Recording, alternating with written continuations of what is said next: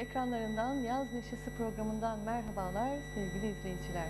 Hafta içi her gün canlı olarak yayınlanan programımızın bugünkü konukları Bursa Büyükşehir Belediye Konservatuarı Türk Halk Müziği sanatçısı Sayın Cemile Kara ve Bursa Büyükşehir Belediye Konservatuarı kemençe sanatçısı Sayın Şerif Pir bizlerle Karadeniz ezgileriyle dolu bir programı başlıyoruz diyorum.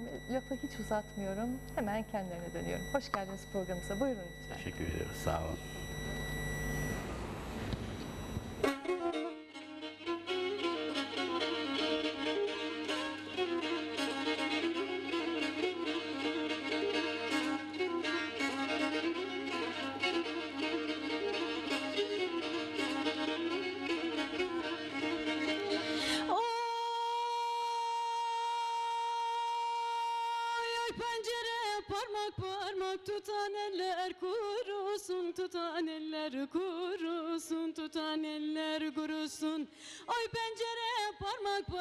Tutan eller kurusun tutan eller kurusun tutan eller kurusun. Sen duramam dedin şimdi nasıl durursun? Sen duramam dedin şimdi nasıl durursun? Yatma yeşil çimene uyur uyanamazsın. Verme beni ellere görür dayanamazsın. Verme beni ellere görür dayanamazsın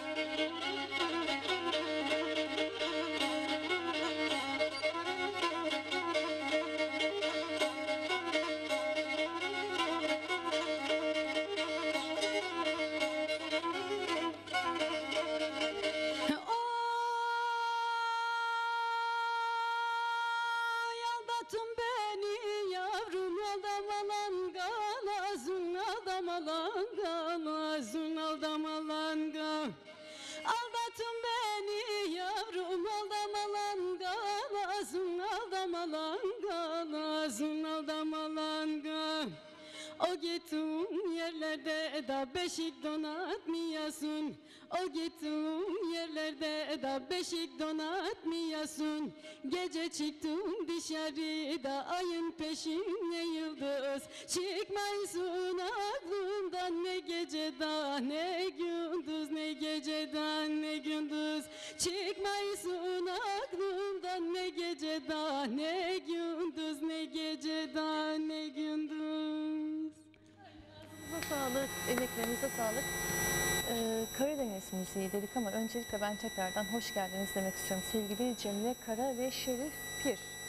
Nasılsınız?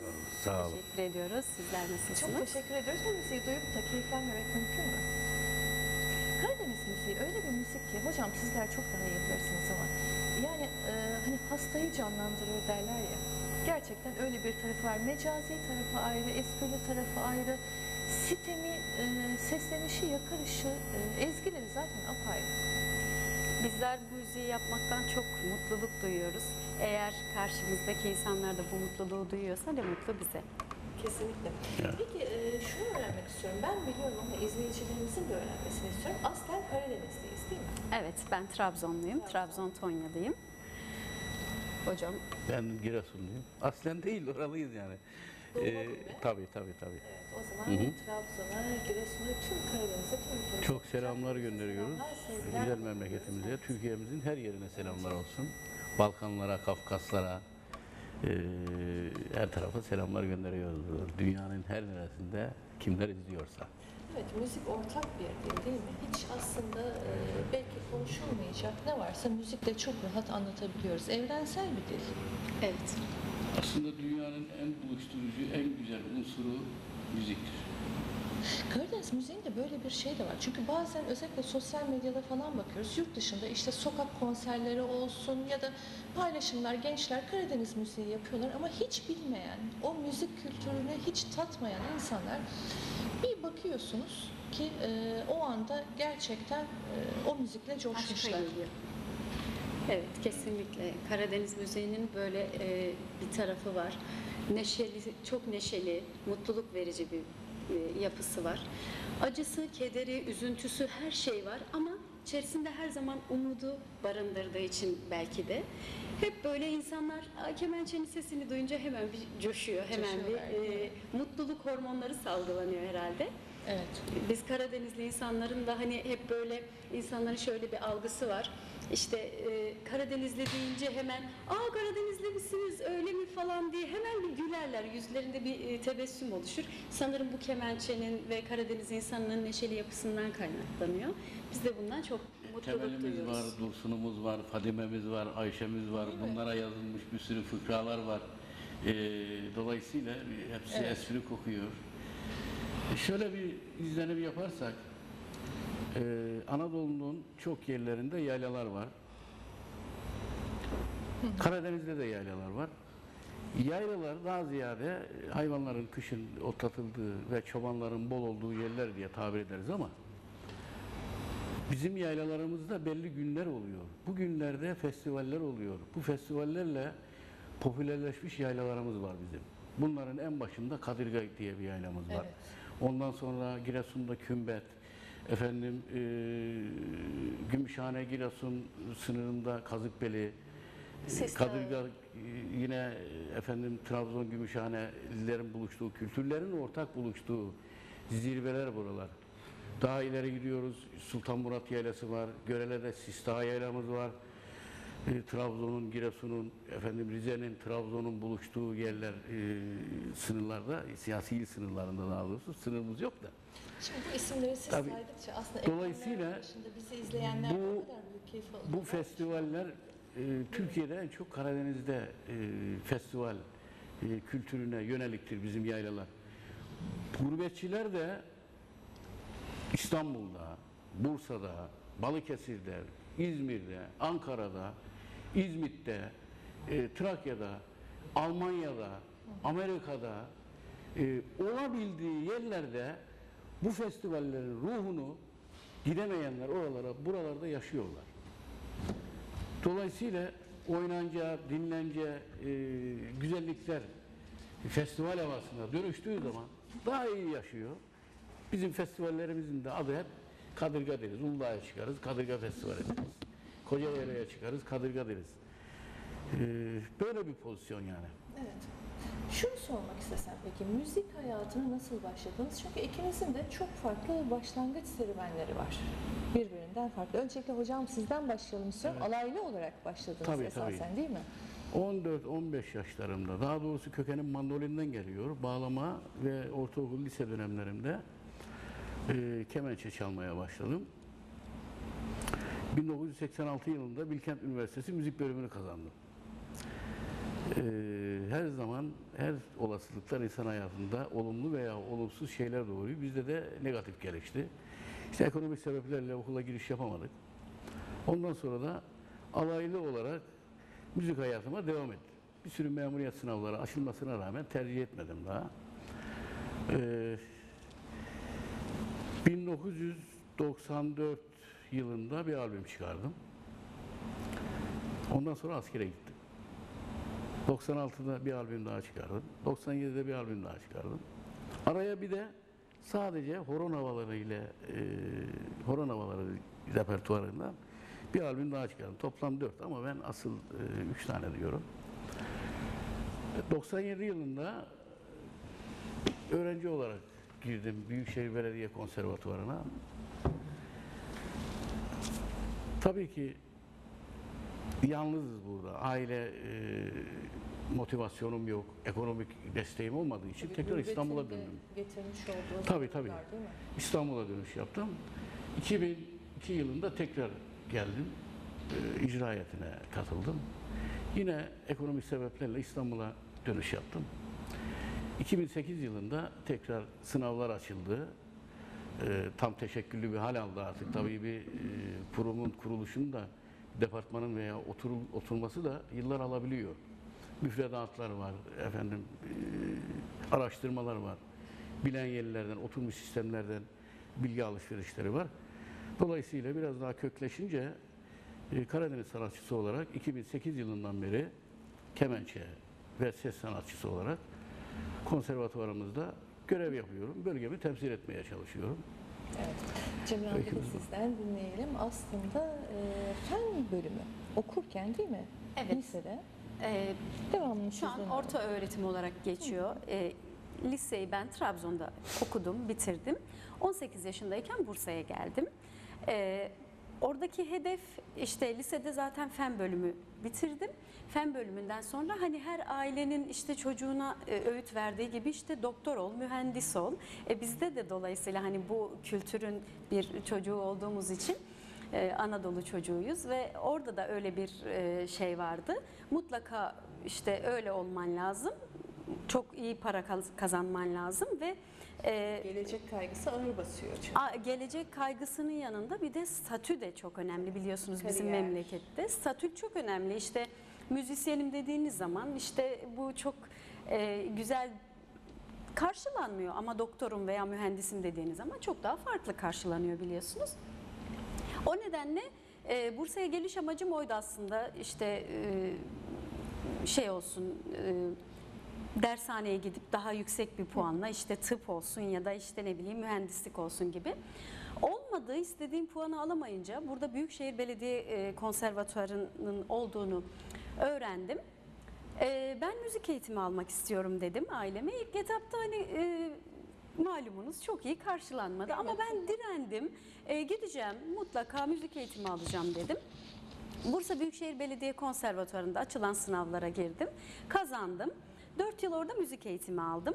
E, müzik eğitimi alırken 3. sınıftayken icra sınavları açılıyordu ve TRT'den büyük hocalarımız e, gelip bizi sınav sınava tabi tutuyorlardı. O sınavları kazandım. Üçüncü sınıftan itibaren hem okumaya devam ettim orada hem de icra heyetinde yer almaya başladım. Konservatuarı bitirir bitirmez tekrar üniversite sınavına girdim. Üniversite sınavından sonra işte e, Uludağ Üniversitesi, Fen Edebiyat Fakültesi Fizik bölümünü kazandım. E, fizik bölümünü okudum. E, şimdi hem fizik hem müzik diyeceksiniz hani ne Hangisi alaka falan. bastı? Ee, tabii ki müzik çok e, evrensel bir şey. Fizik de öyle. Kesinlikle ben e, iyi ki de okudum diyorum her zaman. Fizik muhteşem bir bölüm. Yani burada bizi izleyen e, seyircilerimize, çocuklarına mutlaka fiziğe yönelsinler Özellikle derim. Bugün Çok de sınav güzel. sonuçları açıklandığı için aslında çok da isabet oldu. İnşallah bütün öğrencilerimiz için hayırlı olsun. İnşallah herkese hayırlı olsun. Hayırlı olsun. Herkese güzel kapılar açılsın. İnşallah. Öyle diliyoruz. Ee, bütün çocuklarımıza, bütün öğrencilere. Ee, fizikle beraber konservatuvar devam etti. Şu anda e, hala Bursa Büyükşehir Belediye Konservatuvarı'nda hem eğitmen hem ses sanatçısı, sanatçısı olarak görev yapıyorum. O zaman yine müzikle devam edelim. İki eser zannediyorum e, okuyacaksınız değil mi? Evet.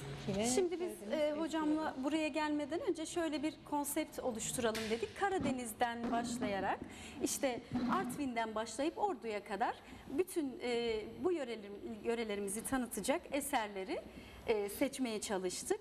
Hem işte ağıdından tutun işte müzikal yapısı, şivesi e, hepsinden birer örnek koymaya çalıştık. Şimdi sırada bir ağıt var. Karadeniz e, hep böyle neşes, neşeli türküleriyle işte atışmalı türküleriyle tanınır ama Karadeniz'in çok önemli bir e, şeyi de ağıtlardır.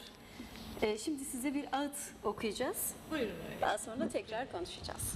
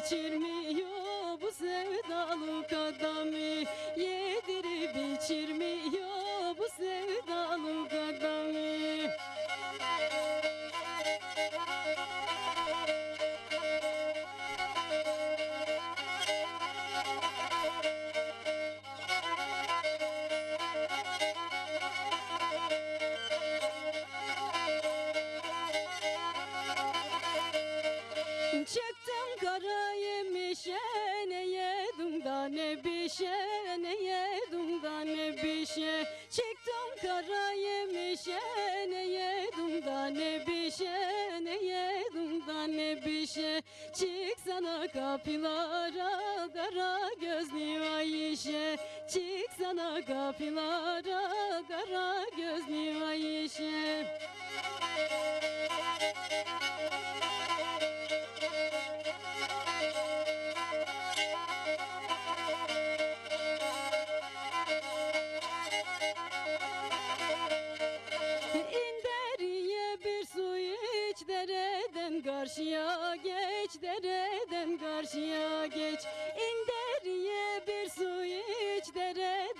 karşıya geç dereden karşıya geç Olmaz böyle sevdalık ya beni ya vazgeç Olmaz böyle sevdalık ya beni ya vazgeç Harikasınız. Ağıttan da böylesi güzel bir esere geçmek herhalde ancak Karadeniz müziğine özgü bir şey olsa gerek. Bir tarafta işte e, ağıtlarımız var ki o en üzüntülü anlarımızda ortaya çıkmış olan, en e, yaralarımızın, büyük yaralarımızın olduğu anda ortaya çıkmış olan bir taraftan da böyle neşe- neşeli şarkılar. Şimdi bağlantıya bakıyorum. O kadar da e, fark Yumuşak bir ettirmeden geçiş. yumuşak bir geçiş oldu ki. Evet. Tebrik teşekkür ederim. ediyorum. Olun. Ağıtlar dedik. Ağıtlara biraz değinelim istiyorum. Ee, şimdi e, Karadeniz kültürünün tabii geçmiş dönemlerde daha yoğun olmakla birlikte artık yavaş yavaş hani yeni e, nesil artık biraz daha bilinçlenmeye başladıkça bunları bu kan davalarını biraz daha e, yok artık bu, bu, devir- bu devirde biraz daha e, silmeye başladık ama eski dönemlerde bizim Karadeniz'de biliyorsunuzdur Evet. işte e, herkesin belinde bir tabancası vardır Değil mi? mutlaka ve o dönemde öyle bir algı var ki e, belinde tabancası olmayan delikanlı delikanlı değildir gibi bir algı var. Evet. O nedenle Karadeniz'in coğrafik yapısıyla da alakalı olduğu için hırçın bir e, insanı var Karadeniz'in. Doğası da öyle, insanı da. Çünkü insan doğadan etkilenir. Çabuk parlayan değil mi? Kesinlikle. Dalgalar gibi anında Doğasına köpürülen. göre Evet. bitkiler de, Aynen öyle. insanlar da. O nedenle küçük bir kavgada, bir işte delikanlı kavgasında e, cebinde de tabancası var. Çıkarıyor karşıdaki arkadaşını, köylüsünü. Hiç düşünmeden, yarını düşünmeden öldürüyor. E, bunun sonucunda da tabii o ölen bir ana evladı e, çok büyük acılar yaşanıyor. Bunun sonucunda da zaten türküler biliyorsunuz yaşam. Yaşamdan gelir, gelir türküler.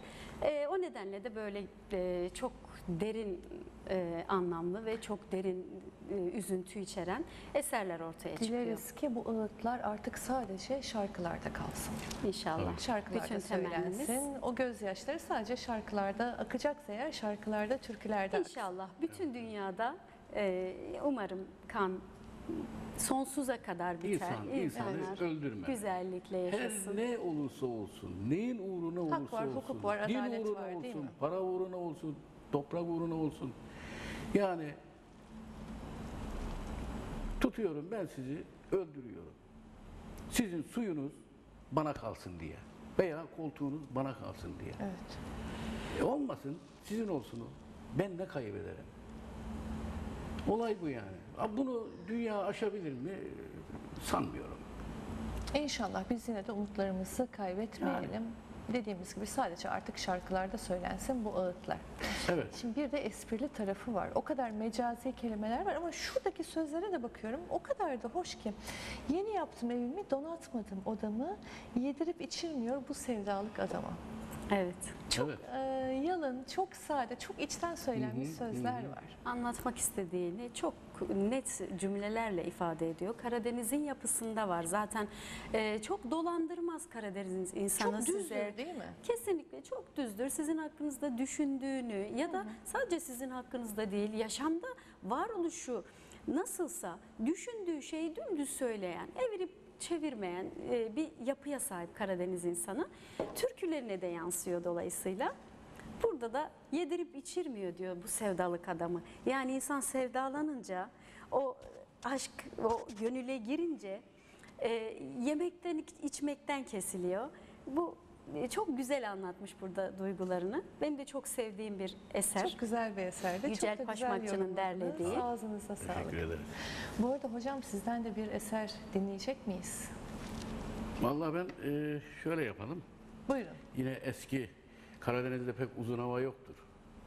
Ama uzun hava tarzında bizim e, duayin e, Allah rahmet etsin e, Bicoğlu Osman hocamız var. Onun bir eserini izleyelim. Buyurun.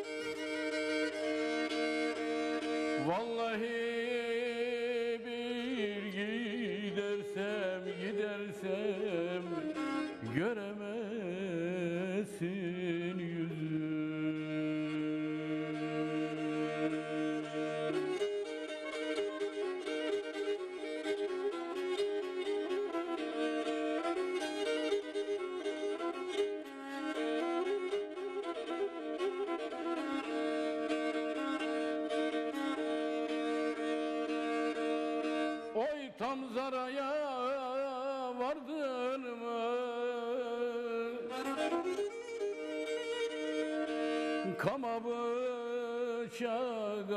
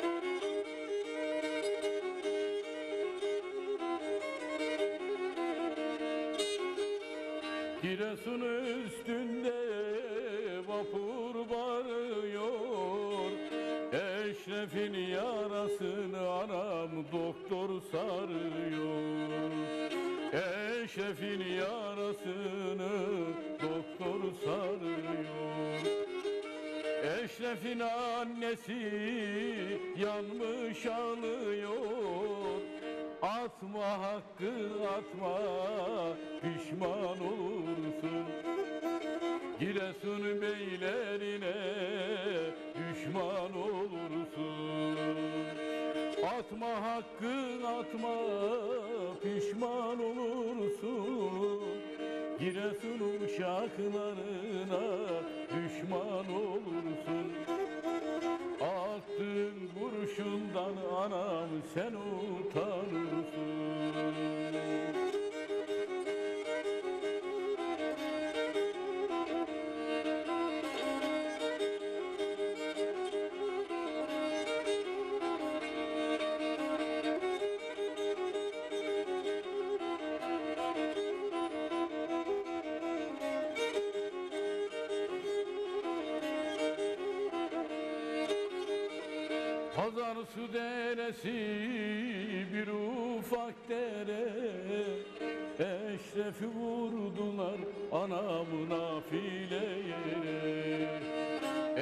Eşrefi vurdular nafile yere Nafile nafile o da nafile.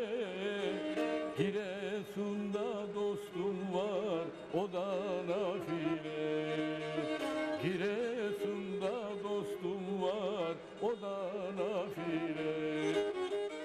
Atma hakkı atma pişman Giresun beylerine düşman olursun Geli galizadelere düşman olursun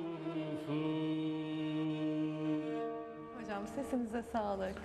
Çok Bizi teşekkür aldınız, ederim. götürdünüz bugün. Çok güzel Evet. yerlere. Ben Karadeniz'i şahsım adına söylemek gerekirse bir tek Zonguldak'ı gördüm. Karadeniz görmedim ama işte bu ezgilerle aslında oralara gidiyor gönüllerimiz.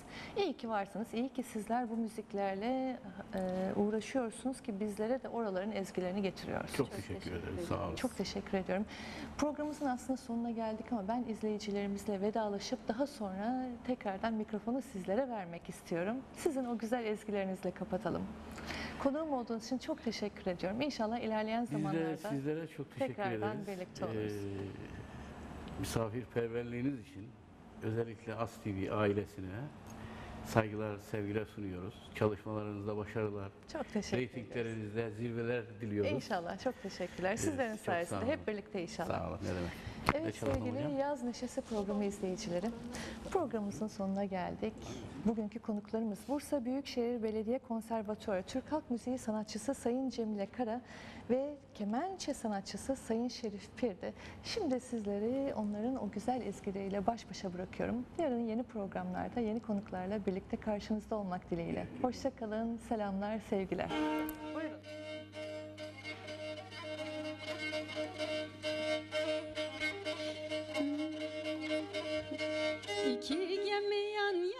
Demir atı limana İki gemi yan yana. Demir atı limana Ben yarımı sorarım da gavura Müslümana. Ben yarımı sorarım da gavura Müslümana. Armut dalda dal yerde bülbül öter her yerde. Armut dalda dal yerde bülbül öter her yerde. Bizi ayırdı felek ayırdı bizi felek. Her birimiz bir yerde da her birimiz bir yerde